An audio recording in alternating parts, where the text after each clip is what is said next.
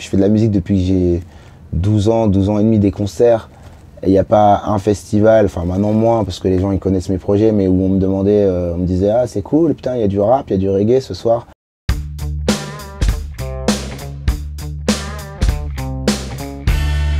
Salut, c'est Matt Bastard de Skip the Use. Aujourd'hui, je vais vous parler de Puck in Drublic de NoFX.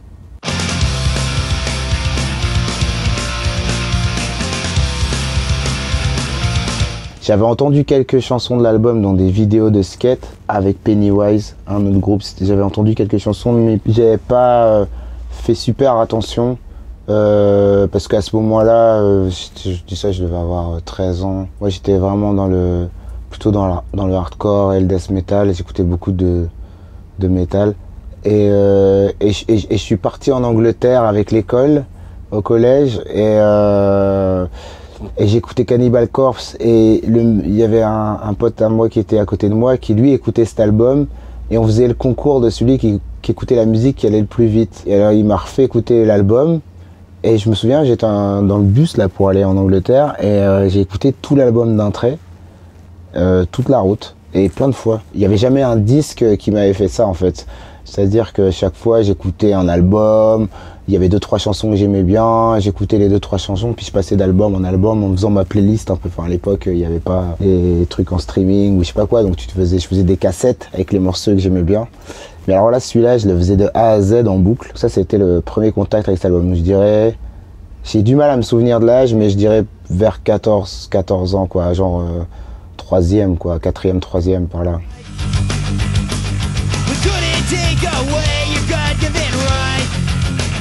Je faisais beaucoup de skate et beaucoup de surf et, euh, en même temps euh, j'étais adolescent euh, et je regardais la série Cœur à vif et qui était une série vraiment tout pourrie mais j'aimais bien parce que dans le vestiaire d'un des héros il y avait une affiche de l'album de NoFX. Je me disais automatiquement ça doit être bien.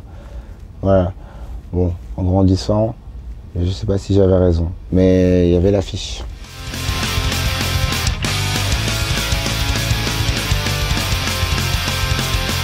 Pourquoi cet album aujourd'hui euh, bah, Parce que, euh, je pense que c'est assez déterminant euh, ces disques qui arrivent à te saisir, surtout quand tu es adolescent et que de la musique, il y en a partout, dans tous les sens, tout le temps. Il y a plein de projets divers et variés. Mais en tout cas, celui-là, au-delà d'un disque que j'aimais bien, ça m'a donné envie de faire cette musique, ce qui est encore une autre étape, je pense dans la vie d'un ado. J'aime bien écouter quelque chose et après j'aimerais bien savoir le faire. Ce disque m'a vraiment donné envie de savoir faire ça. Moi à l'époque, comme je le disais, j'étais euh, beaucoup dans le skate et dans le surf. Et c'était un ensemble de plein de trucs. C'était la musique qu'il y avait dans les vidéos de skate que j'aimais bien. Quand j'allais surfer, c'était la musique que j'écoutais euh, pour me, pour me motiver. Et quand j'étais avec mes potes, c'était la musique que j'aimais bien faire parce que j'arrivais à retranscrire j'arrivais à ressentir musicalement l'énergie que je ressentais quand, quand je ridais ou des trucs comme ça.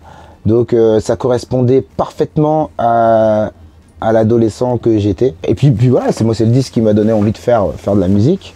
Euh, NoFX c'est un groupe euh, sur scène incroyable. Il ah, faut au moins les avoir vus une fois dans sa vie. Mais bon, je crois que c'est leur dernière tournée, là, ils partent à la retraite. Parce que euh, parce que c'est un concert où le but du jeu c'est qu'il se passe quelque chose. C'est pas de bien jouer, c'est pas d'être le meilleur chanteur, mais en même temps, c'est faire passer des messages en se marrant. Et moi, c'est tout ce que je fais aujourd'hui. C'est exactement la même chose. J'ai jamais dévié de ce truc-là. Et, euh, j'ai trouvé ça incroyable, plutôt que d'être complètement frontal et parfois euh, braquer les gens et tout de suite être dans un affrontement. Là, c'était beaucoup plus malin, beaucoup plus intelligent. Et, euh, et c'est réussir à faire marrer les gens à les faire danser, à les faire réfléchir en même temps sans même parfois qu'ils s'en rendent compte. Je trouvais ça très très fort avec ce... j'ai toujours trouvé ça très fort avec ce projet.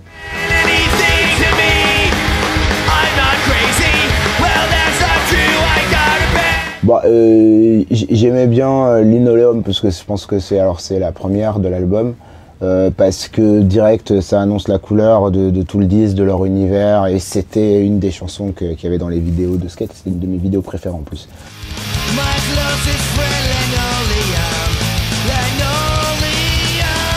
Ensuite, il y a Don't Call Me White. Ça, c'est, je pense, un titre que j'ai adoré parce que Euh, c'est une chanson vraiment engagée et, moi qui suis black et qui fais du, du, du, du, du rock, je fais de la musique depuis que j'ai 12 ans, 12 ans et demi des concerts. Il n'y a pas un festival, enfin maintenant moins parce que les gens ils connaissent mes projets, mais où on me demandait, euh, on me disait ah c'est cool, putain il y a du rap, il y a du reggae ce soir, parce qu'ils ne pouvaient pas imaginer que je faisais un groupe de punk hardcore avec mes potes. Donc cette chanson Don't, Call Me White, je, elle me parlait tellement quand j'étais adolescent.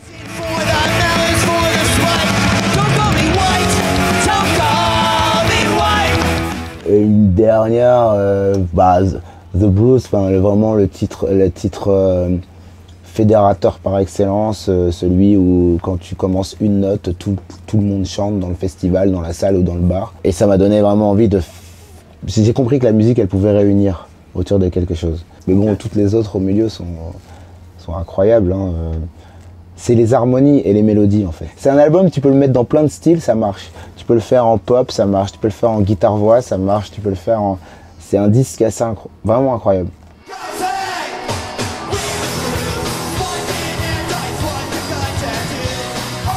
Alors, comment j'ai appréhendé l'évolution de la carrière de NoFX, c'est marrant parce que tout à l'heure, avant que de faire cette interview, écouté le dernier album de L'Homme Pâle, puis je regardais, euh, on a des, amis qui travaillent sur, la tournée qu'il va faire. Donc j'écoutais que je trouve vraiment, vraiment bien ce disque. Je lisais des interviews de, de L'Homme Pâle qui parlait de son album et tout ça, et il expliquait que dans sa manière de faire de la musique, qui qu'il a écouté beaucoup de musique anglo-saxonne, mais qu'il n'écoutait pas les paroles et qu'il se fixait un peu sur l'intention. Et ben, moi, quand j'étais petit, c'était l'opposé, total.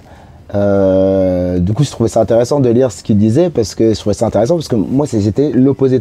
Donc, je pouvais écouter euh, des trucs euh, musicalement infâmes, des mecs qui savaient pas jouer, pas chanter, mais parce que je trouvais que ce qu'il disait, c'était ça, c'était le message qui était assez incroyable. Et NoFX, c'était la sur ce disque-là, c'est la première fois où le message me touche et la musique me touche en même temps.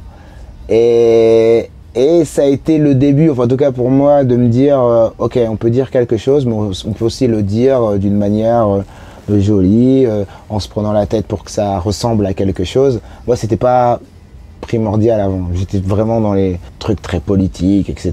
Et, je me disais, on s'en fout en fait. C'est la, la musique, c'est que de l'enrobage autour d'un message et j'étais, euh, ça me faisait vomir toute la musique, où c'est l'inverse, où on dit rien du tout, même aujourd'hui, hein, j'avoue que ça me fait encore un peu vomir.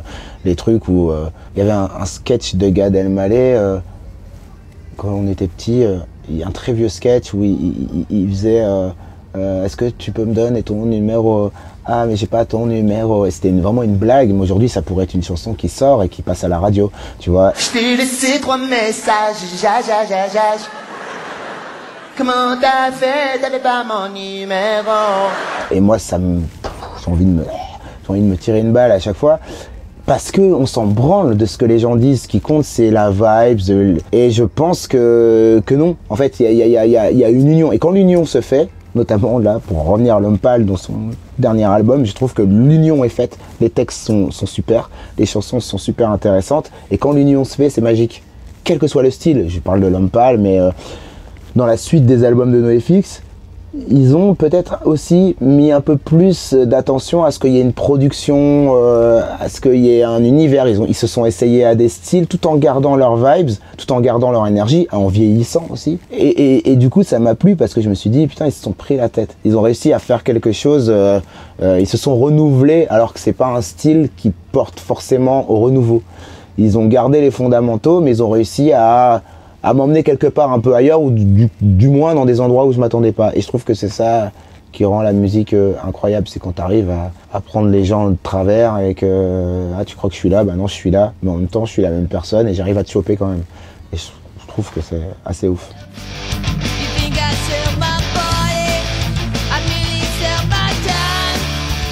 Alors si cet album n'avait pas existé, moi j'écoute vraiment du punk, du hardcore et de la techno.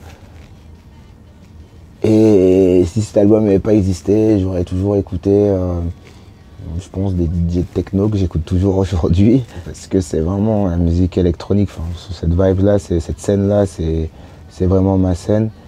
Euh, c'est marrant d'ailleurs par rapport à tout ce que je viens de dire, par rapport au texte, là on parle que de musique instrumentale ou alors vraiment avec une punchline, mais, mais, mais ce que je trouve punk rock et rock'n'roll dans la techno, c'est euh, la liberté totale Même si pour les, les et je le conçois totalement, hein, pour, pour ceux qui sont pas dans ce mouvement-là, ils ont l'impression que c'est un kick, que c'est toujours la même chose.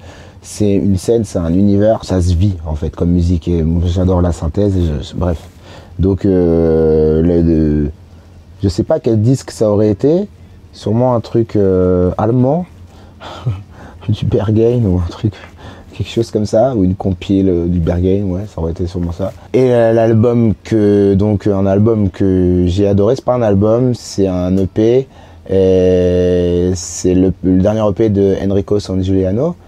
Euh, qui euh, qui s'appelle c'est l'EP où il y a The Sound of Space mais je sais jamais comment le nom de l'EP. Vous mettez Enrico San Giuliano et vous allez trouver le dernier EP qu'il a sorti un producteur de techno, un performeur de techno, mais c'est aussi un sound designer, c'est aussi un, compositeur et un producteur de musique. Donc le P, c'est pas que de la techno, il y a aussi plein de trucs. Euh, il s'ouvre à beaucoup d'autres styles et je trouve que c'est un mec extrêmement talentueux.